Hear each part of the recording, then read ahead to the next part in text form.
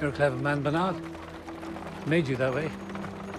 Have you never wondered why the host's stories have barely changed in 30 years?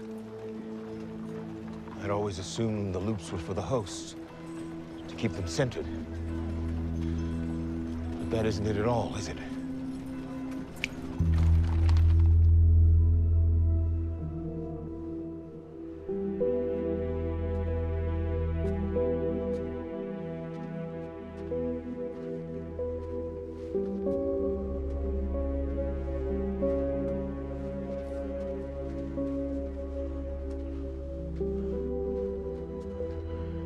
Park is an experiment, a testing chamber.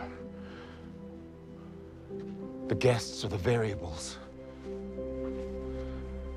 And the hosts are the controls.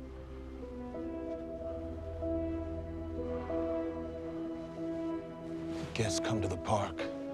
They don't know they're being watched. We get to see their true selves. Their every choice reveals another part of their cognition, their drives, so that Delos can understand them.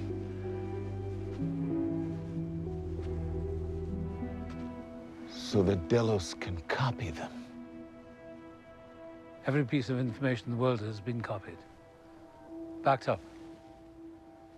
Except the human mind. The last analog device in a digital world. We weren't here to code the hosts. We were here to decode the guests. The humans are playing at resurrection. They want to live forever. They don't want you to become them. They want to become you. Your free will, that most beautiful, most elusive force in the universe is, as I told you, a mistake. We never had free will.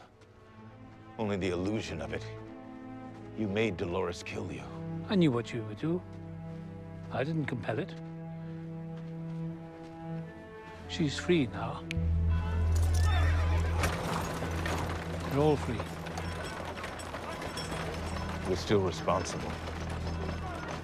Responsible for all this misery. And all the while, you've been hiding here. You've cheated death. No.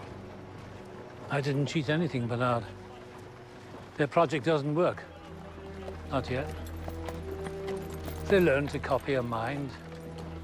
Like a soft-headed boy humming a tune someone else composed.